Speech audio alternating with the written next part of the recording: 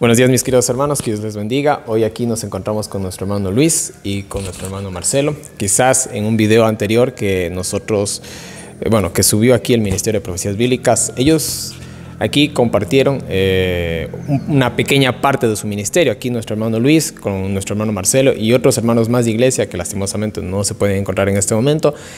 Eh, tienen una pequeña imprenta. Nosotros en breves imágenes vimos este proyecto que ellos han realizado en en, una, en esta zona de Ecuador que se llama El Paraíso, que queda al noroccidente de Pichincha, en el cual pues el hermano Luis, Dios ha puesto en su corazón desde hace un tiempo atrás eh, la impresión de libros como El conflicto de los siglos y El camino a Cristo, lo cual se ha estado imprimiendo desde hace mucho tiempo y gracias a Dios también eso ha llegado a, muchas almas. Pero en este momento eh, les tenemos... Eh, vamos a decir así, contarles un milagro. En estos momentos estamos en unas instalaciones que como ustedes están viendo, estarán viendo también en imágenes posteriores. Hemos, tenemos un galpón, eh, ¿de cuántos metros hermano? Disculpe el galpón. De 10 metros por 7,50 de ancho. Muy bien, estamos en un galponcito de 10 metros por 7,50. ¿Qué hacemos aquí?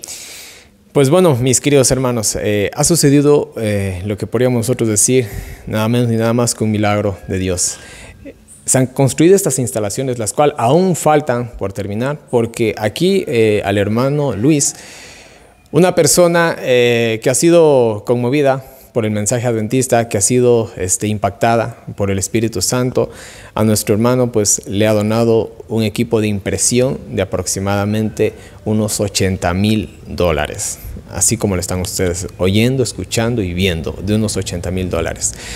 Entonces, em, Queremos compartirles tal vez un poco el testimonio de cómo fue realmente cómo sucedió este milagro. Así que hermano Luis, me gustaría que nos cuente cómo, cómo fue eh, realmente eh, que esta persona, Dios le tocó el corazón para poder este, llegar a hacerle un regalo tan grande, ¿no? Lo que es para la obra de Dios, lo que es un equipo completo de impresión, para incluso llegar a imprimir hasta unos mil libros al día, hasta unos mil libros al día. Entonces vamos a que aquí nuestro hermano nos cuente brevemente cómo fue más o menos el milagro, hermano. Bueno, eh, primeramente quiero agradecerle a Dios por darme un día más de vida y pues como a donde yo voy cargo libros para regalar.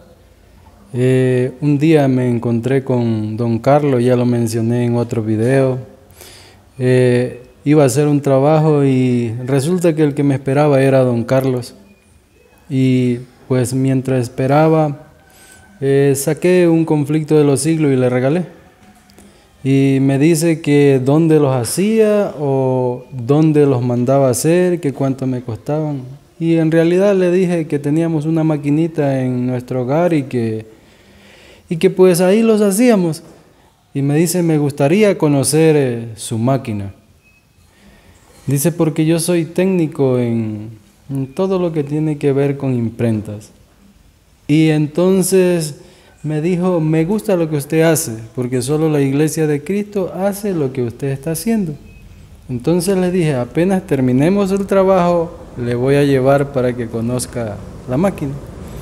Bueno, y le traje a él y durante el camino veníamos conversando y él pues cuando llegó acá en realidad yo ni sabía cómo se llamaba la máquina.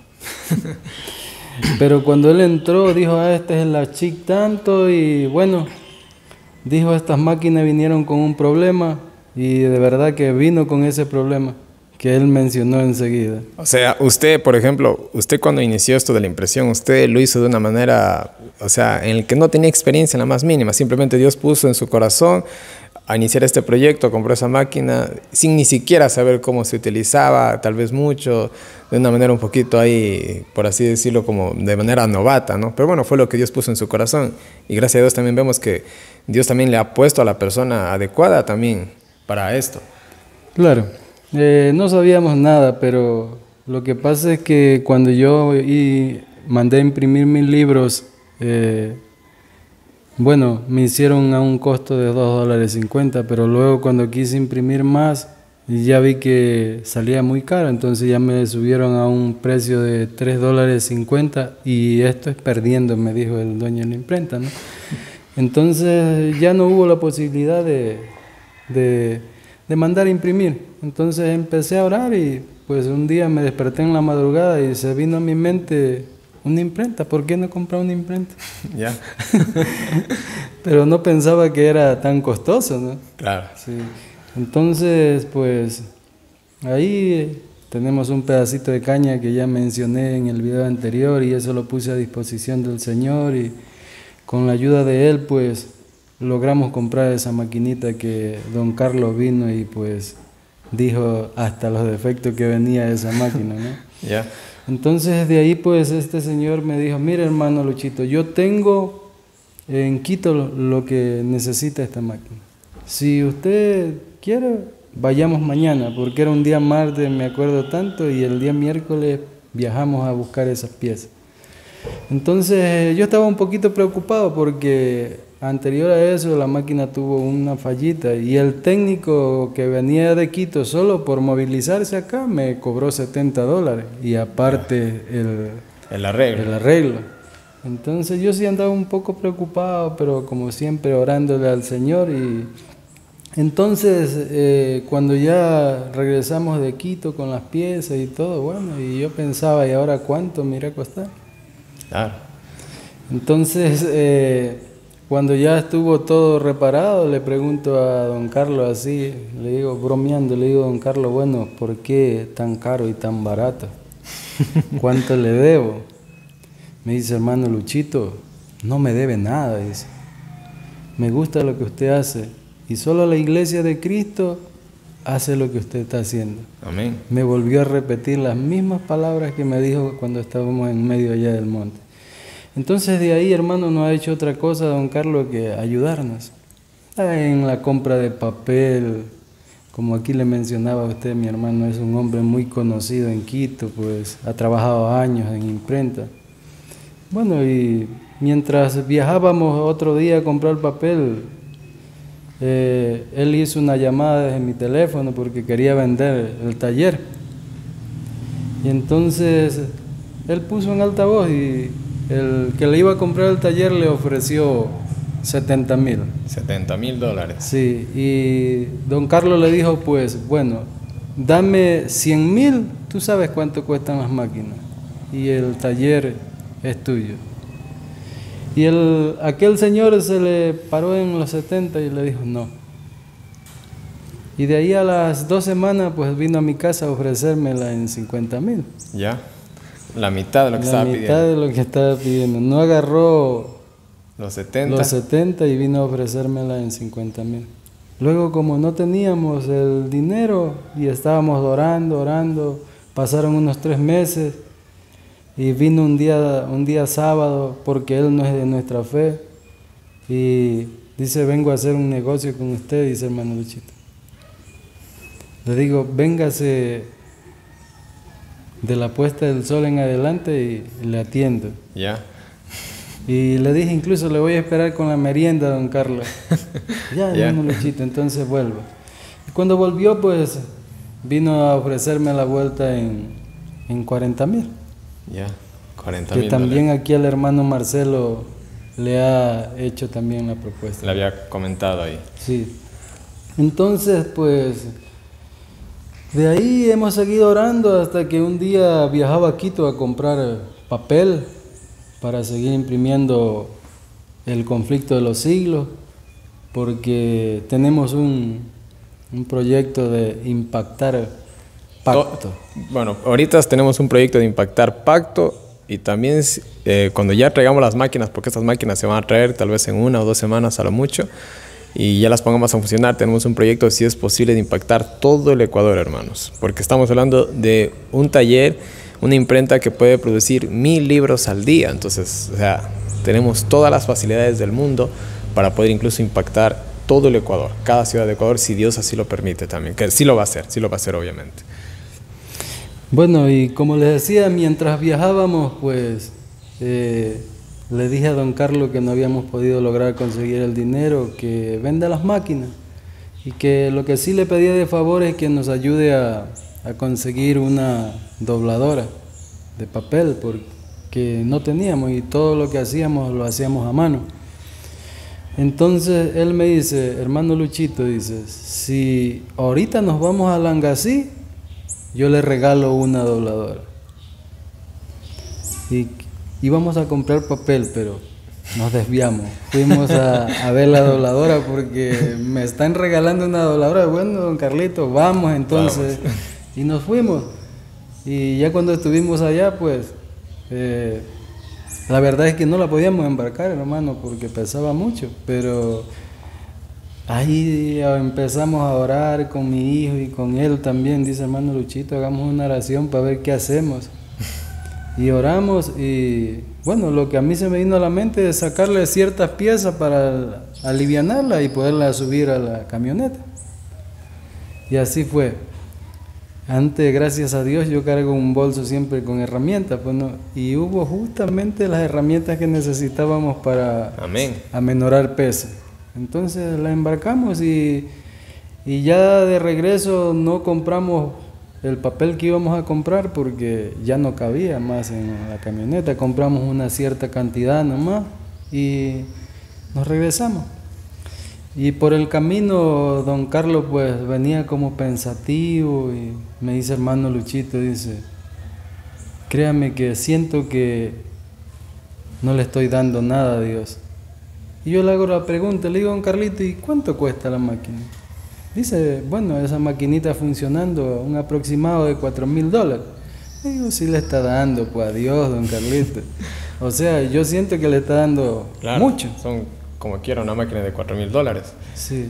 Entonces él me dice, no, hermano Luchito, dice, yo siento que no le estoy dando nada a Dios, dice, Él me ha dado la vida, me ha dado todo lo que tengo y yo siento que no le he dado nada. Yo quiero hacer un trato con usted, dice. Verá, hermano Luchito, hagamos un trato, dice usted haga un galpón allá en el paraíso en su casa y yo le dono todo el taller. Amén. Entonces cuando él me dijo, sinceramente yo no, podía creerle, ¿no?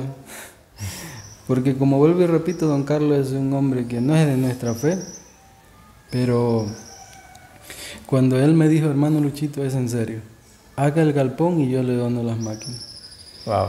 Bueno, hermano, y, estamos. Es, ese es el resultado de ahora de lo que estamos viendo aquí. Aquí estamos, hermanos, y como ustedes escucharon aquí, o sea, fue un milagro, fue un milagro de Dios. ¿Quién regala básicamente un taller ¿no? de imprenta valorado en 100 mil dólares para la causa de Dios? Son cosas que solamente Dios pueden hacer. Y en estos momentos pues estamos en este galpón que aún faltan muchas cosas que hacer, muchas cosas que hacer faltan aún. Eh, tenemos aquí por completar la puerta. Eh, también, hermano, háblenos un poco de la instalación eléctrica. Usted nos estaba hablando un poquito aquí de la instalación eléctrica, de ciertas cositas también que necesitan eh, las máquinas, porque no son cualquier máquina. Estamos hablando de máquinas que pueden hacer mil libros al día, imagínense. O sea, es una super imprenta que va a tener una capacidad increíble para distribuir material. Y verán, hermanos, haciendo un pequeño paréntesis, ahora más que nunca, que en los acontecimientos que estamos viviendo, de estos ya eventos finales de, lo que le queda a la historia de este mundo, ¿cuánta necesidad hay de, del material? Les digo así, ¿cuánta necesidad hay de libros? Yo, por ejemplo, no es ningún secreto, yo imprimo libros, pero yo imprimo libros de una, a una escala así, o sea, insignificante. Yo máximo puedo imprimir tranquilamente unos, ya así siendo exagerado, unos cuatro, ocho libros al día. Eso no es nada. Ya, y a mí la gente siempre que hermano, que se hace falta esto, que hace falta lo otro. Y es increíble, o sea, se necesita, y Dios a Ecuador le está proveyendo básicamente de manera gratuita todo el equipo para poder hacer esto. Si Dios está permitiendo esto, es porque Dios tiene grandes planes para Ecuador, ¿ya? Pero como les decimos aún, aún faltan muchas cosas. Gracias a Dios se ha construido lo que ustedes ven. Y entonces aquí, hermanito, quisiera que nos hable un poquito de lo que ahorita se está faltando aquí para completar este taller, poder traer las máquinas y ponerlas a funcionar. Muy bien, mis queridos hermanos, este, es una bendición que podamos estar aquí en este lugar. El Señor ha permitido avanzar hasta aquí, nos ha ayudado y nos ha cuidado. Él ha provisto lo necesario pero como ustedes pueden ver, eh, el piso aún falta poner cerámica, necesitamos hacer la puerta, eh, pintar un poquito esto, la instalación eléctrica y el variadores de corriente para... La, la cuestión del, de eso, eso, quisiera que nos hable un poquito de esas, la, estos, las variaciones eléctricas y la instalación. ¿Cuánto más o menos se estaría yendo, hermano, aquí? Eh, Solo para acoplar los motores, porque son motores trifásicos y aquí no hay corriente trifásica, entonces hay que poner unos reguladores o variadores de corriente. Eh, solo el material está costando 5 mil dólares para los motores. Un hermano que es ingeniero eléctrico, él va a poner su mano de obra, va a apoyar gratuitamente, solamente hay que comprar los materiales, pero estamos hablando de solo para poner a trabajar las máquinas 5 mil dólares. En lo que es ¿Y la instalación eléctrica? La instalación eléctrica es, un estimado de unos mil dólares en todo lo que es cables, eh, toma corrientes y todo lo que hay que hacer. Claro, porque hay que hacerlo con todas las medidas de seguridad y todas las cosas. Estamos hablando de un costo de 6 mil dólares eh, también estamos hablando aquí de los acabados, eh, se está tratando de poner un pequeño bañito para las personas que van a trabajar, porque todos los que van a trabajar aquí, hermanos, son voluntarios.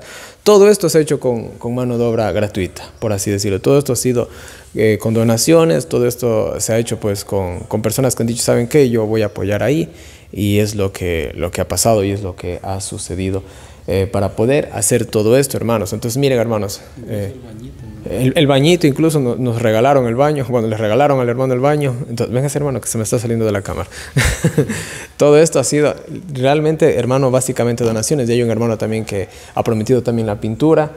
Eh, para poder este, hacer esto. Yo incluso ya me comprometí también en poner ahí el letrero de la imprenta porque esta, hermanos, es la imprenta Los Tres Ángeles. Les digo así, porque esto, esta imprenta va a imprimir eh, lo que nosotros debemos de estar dando, eh, lo que debemos estar compartiendo al mundo en estos momentos, en este momento de la historia que, que, estamos viviendo. Es lo que nosotros debemos de estar dando. Lastimosamente nosotros sabemos que nuestra iglesia eh, ha sido bastante negligente en este asunto, pero no importa hermanos, no importa. Si ellos no lo hacen, lo hacemos nosotros. No nos olvidemos que Dios siempre va a levantar este tipo de lugares para poder hacerlo, para poder hacer la obra de Dios. Y siempre que nosotros nos dejemos utilizar por Dios, Dios va a obrar de maneras maravillosas en, este, eh, en nuestra vida y donde nosotros estemos para impactar y para dar al mundo la luz de la verdad. En estos momentos eh, estamos también necesitando el dinero para poder traer las máquinas, que es un costo aproximadamente de mil dólares, porque háblenos un poco de las máquinas, de qué tamaño son, eh, más o menos un poquito el traslado, cómo va a ser, porque realmente son máquinas, según lo que usted me dijo, máquinas enormes, cuánto pesan. Bueno, don Carlos me dijo que la prensa está en un aproximado de 14 toneladas. La solo la prensa 14 toneladas, solo la prensa, sí. Y la dimensión es de 2 metros de ancho por 6 metros de largo. Ya. La prensa. Solo la prensa. Sí, bueno, y la guillotina dice que tiene un peso de unas 5 toneladas. Esa es de 3 metros por 3 y la dobladora de papel dice que un aproximado de 2 toneladas. 2 toneladas. Sí, esa es eh, como de un metro cincuenta por 4 metros de largo.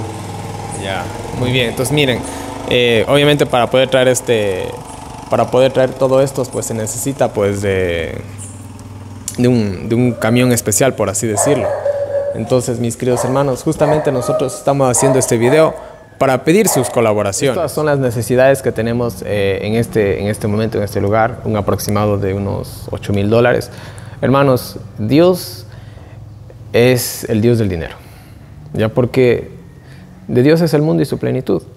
Entonces nosotros sabemos que Dios va a dar los recursos para, para este lugar y yo les digo que cualquier persona que quiera apoyar con un granito de arena, no importa hermanos lo que ustedes tengan, créanme que todo eso suma, ¿sí? Aquí yo al menos de manera personal me he comprometido con hermano Luis también para apoyar este proyecto porque, o sea, qué lindo fuera, yo les digo así, poder impactar todo el Ecuador. Qué lindo fuera impactar todo el Ecuador. Y miren, es, es curioso, nosotros básicamente estamos en la mitad del país. Donde estamos poniendo esta, esta imprenta es, es en un lugar estratégico donde nosotros podemos fácilmente llegar a cualquier parte del país. Estamos muy cerca de la capital y de ahí básicamente nos podemos mover a todo lado. Entonces, miren, Dios, yo les digo algo, aquí Dios está eh, obrando en todo este proyecto. Es porque Dios tiene algo pensado, algo grande para Ecuador. No importa si hay obstáculos, hayan pruebas, eh, cualquier cosa, hermanos.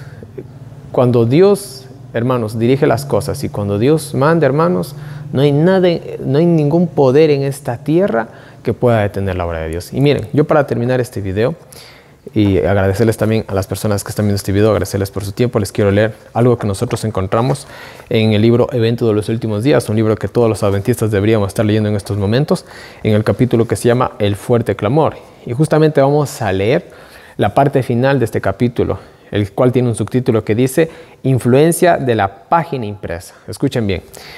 Más de mil personas, escuchen bien, más de mil personas se convertirán en un solo día, la mayor parte de las cuales adjudicarán sus primeras impresiones a la lectura de nuestras publicaciones. En la, en la obra final, en un momento más crítico de la historia de este mundo, el poder de la página impresa va a tener un poder que nosotros no podemos imaginarnos. Aquí el Espíritu Profecía nos dice que hasta mil personas se van a convertir en un día. Hermanos, es una obra solemne, es una, una, obra sagrada lo que se va a hacer en este lugar. Los resultados de la circulación de este libro, ¿cuál es? El conflicto de los siglos. No han de juzgarse por lo que ahora se ve. Leyéndolo, algunas almas serán despertadas y tendrán valor para unirse de inmediato con los que guardan los mandamientos de Dios. Miren, a veces nosotros, a mí me ha pasado, yo regalo un libro y pareciera que las personas, eh, o sea, pareciera que el esfuerzo es en vano, porque obviamente a veces las personas no eh, tienen esa actitud que nosotros esperamos de ella. Pero miren, cuando comiencen a suceder todas estas cosas, la gente va a recordar lo que leyó alguna vez en un libro y saben qué van a decir. Esto lo decían los adventistas y está sucediendo en este momento. Y por esa causa miles de personas se van a convertir en un día. Pero un número mucho mayor que lo lea no tomará su decisión hasta que vea, ahí está lo que decía, hasta que vea que los propios acontecimientos que han sido predichos están ocurriendo.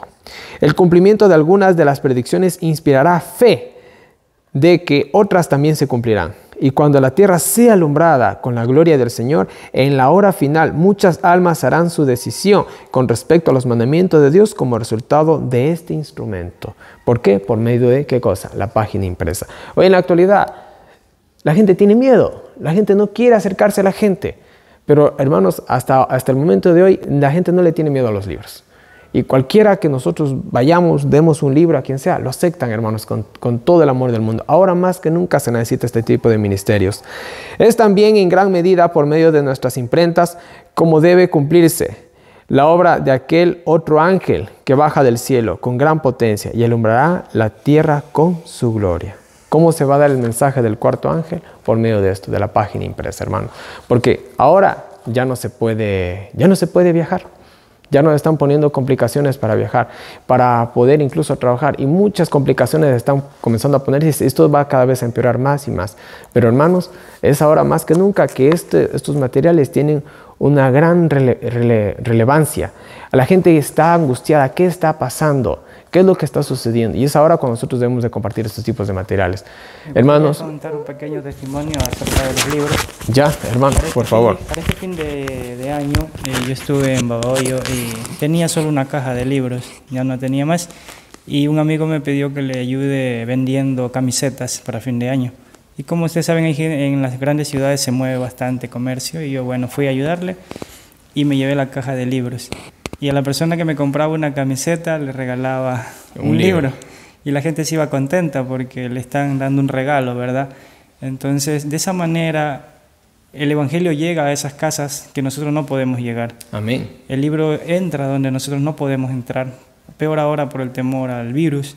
Entonces, es poderosa la influencia que puede tener. Y lo que nosotros debemos recordar, que un ángel está custodiando aquel libro eso es lo que me llenó de emoción y saber que ese libro no va a quedar perdido en la casa de nadie, que un ángel va a estar ahí eh, para aprovechar el momento preciso de que la persona abra el corazón y lo comience a leer.